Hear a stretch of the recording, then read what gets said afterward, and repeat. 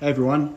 So, I'm currently working on retrofitting my conveyors with a stepper motor, which is inside here, which I will show you in a moment. And right now I'm just repurposing a Frankenstein version of my Otis controller, my optical inspection controller board. So it's running one of my Pro S3s and I'm only using one stepper driver. It's a, a TMC 5160. Lots of uh, bodge wires at the moment because, as I said, retrofitting this to work. I've got uh, a limit switch on the inside and a limit switch on the other end. That is for homing. That is to measure the width of the conveyor. Not all conveyors the same width. I've got two different conveyor types on my line. And the idea is that right now, if I want to adjust a conveyor, I need to do it manually. I need to remember to go along my whole line and adjust the widths. Obviously my pick and place machine and my stencil printer will auto adjust based on the job I'm doing, but all the interim conveyors won't. So my plan is an ESP32 that sits on each one. They're all on Wi-Fi, they're all connected to MQTT. They all have the ability to home and to measure, and then they can all be set to a particular width based on an MQTT message.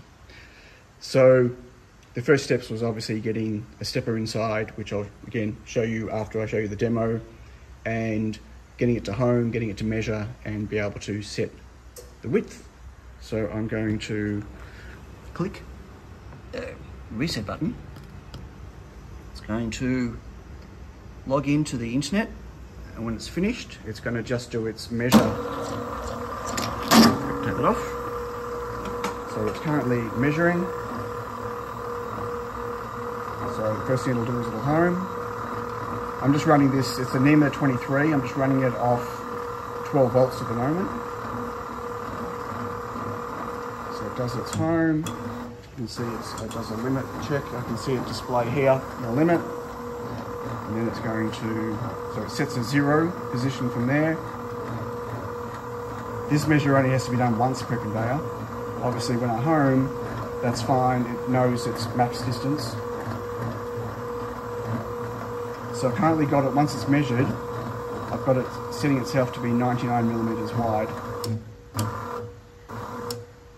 Okay, so it set its max, and now it's going to 99. And if I put the board on, 99 millimeters.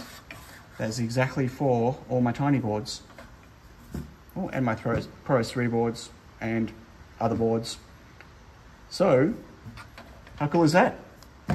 It's now set itself based on the ESP32 S3 that's running on my Pro S3.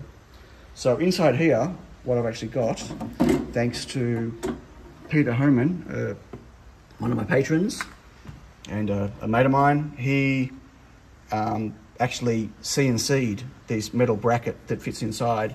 So normally there's just a shaft here in fact, this actual shaft here, which would normally bolt on there and stick out the hole, and that's what the handle goes on.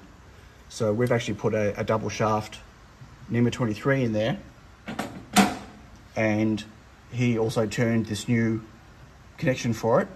So again, I can manually change it if I want to, but I can also stepper control it. And right now, I've just got the wires going through here, going to this board, but it's going to be a custom board and the board won't sit inside here. It'll sit just on the outside underneath and it'll have its own power supply. Uh, right now the ESP32 S3, the Pro S3 is running off the 12 volts coming in and uh, an LDO taking it down to 5 volts, not overly efficient.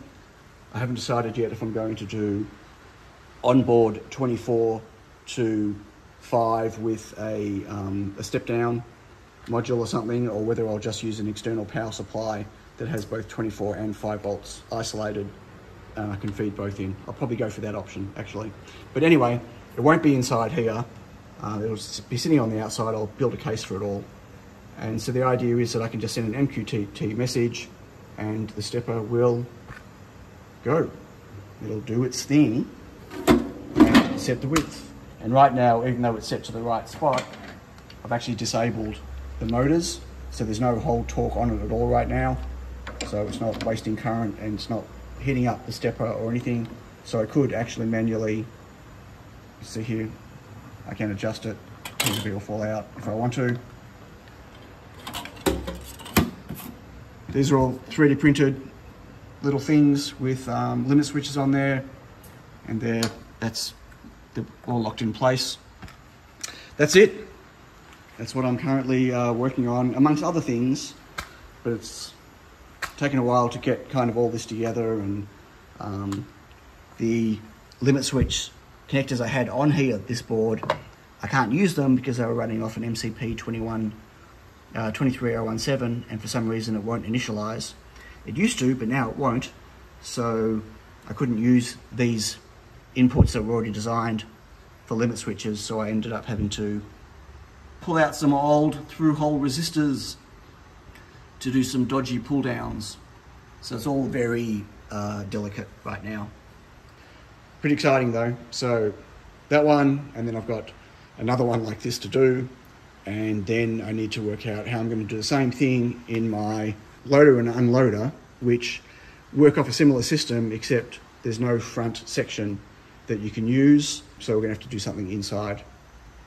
There you go. Automated with controlled conveyors. Woohoo! Catch you later. Bye.